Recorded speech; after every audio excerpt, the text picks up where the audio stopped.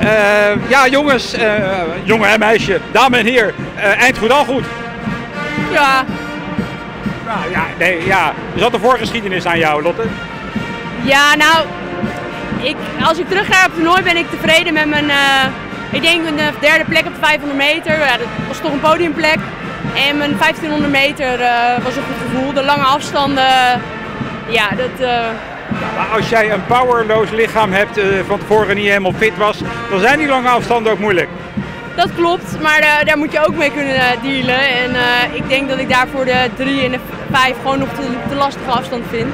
Gelukkig kon ik het op de 1500 meter eh, wel voor vechten. En eh, daar ben ik vooral heel blij mee. Rens, ik denk dat Lotte, volgens mij mag Lotte best wel wat, wat, wat enthousiaster over de eigen prestaties zijn. Gezien haar lichaamsfitheid. Ja, gezien dat wel, maar eh, nou ja, ze heeft natuurlijk dit seizoen al heel wat eh, mooie resultaten behaald. En eh, dan hoop je toch altijd stiekem op meer, denk ik dan. Ja, maar als je niet fit bent, dan wordt dat lastig. Ja, klopt, maar ja, dat is toch een teleurstelling. En dan eh, ook zelfs als je niet fit bent, wil je toch beter. Ja, Hoe was het met jouw fitheid eigenlijk? Je kon harder, maar je hebt een achteraf, als je alle vier afstanden bij elkaar telt, kan je toch tevreden zijn. Het rijtje is mooi, zesde plaats. Ja, klopt. Nou, wel tevreden met de zesde plaats. Dat is ik denk op dit moment het hoogste haalbare. Alleen nou, het verloop van de wedstrijd was nog niet helemaal top.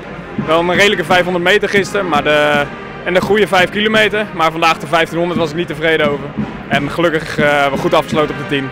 Heb jij nog wat van de, de races van Rens kunnen zien? Ik heb zijn eh, 10 kilometer gezien en eh, ja, dat zag er weer goed uit. Eh, als Rens eenmaal zijn slag te pakken heeft, dan houdt hij niet meer op. Dus dat was wel mooi om te zien. Ja, dus hij mag ehm, ja, tevreden, met een mooie afsluiter, tevreden naar huis.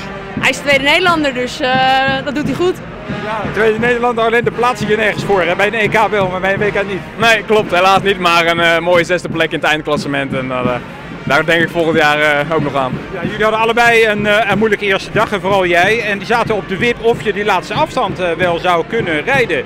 Ehm, ja, dat is een beetje gek gelopen hè? Ah, ik heb een cadeautje van Nesbit gehad.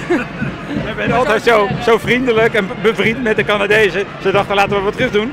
Ja, blijkbaar. Nou, ik, eh, je bent een beetje een dubbel gevoel, want je weet gewoon dat je... Tenminste, ik voelde van tevoren dat ik niet echt klaar was voor de 5 kilometer.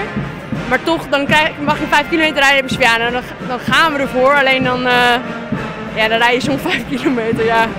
Ik heb hem gereden, laten we daar maar op houden. En ik ben 7 in het eindklassement. En ik denk dat ik daar ja, op zich wel tevreden mee mag zijn. Maar ik had graag meer. Ja, maar je hebt de finish gehaald, dat vind ik ook een compliment op zich. Jan van Veen die had natuurlijk gisteren, vooral bij jou, ondanks, ja, en dat had jij dus ook, ondanks je fitheid, wil je meer. En Jan denkt, wel ja, die Lotte, eh, wat is hier aan het prutsen op die drie kilometer, hè? Ja. Die rijdt een drie kilometer als een 10 kilometer, zei hij. Ja, als een toerist heb ik rondgereden op de 3 en de, en de 5. En, eh, Maar hoe pakt Jan jullie, sorry, hoe pakt Jan jullie dan aan en eh, wat voor schop onder je kont krijg je om dan toch vandaag weer beter te rijden? Nou, het verschil, en dat lukte gelukkig op de 500 meter. Ik, ik kon niet vechten, 3 en mijn 5. En nou ja, met 1500 meter dus alleen maar 3 in mijn hoofd. En ik wil gewoon dat ik ja, mijn hoeken en wel gewoon kunnen vechten en diep kunnen gaan. En dat lukte me wel op de 1500 meter. Die 5 kilometer hakte er aardig in gisteren. En eh, nou ja, dan wil je toch een goede 1500 rijden, maar het klopt allemaal net niet. En dan eh, toch een klein beetje teleurstelling. Maar eh, nou ja, wel tevreden gewoon met het resultaat. Maar ik denk toch, ondanks alles, een prachtig toernooi om mee te maken. Eh, dit is reclame voor het schaatsen wat we hebben gezien. Ja, en, eh, ik moet zeggen, de eerste keer Hamer is eh, wat dat betreft goed bevallen. Want de sfeer is hier geweldig en de Noorse fans zijn geweldig. En het is een prachtige ijsbaan.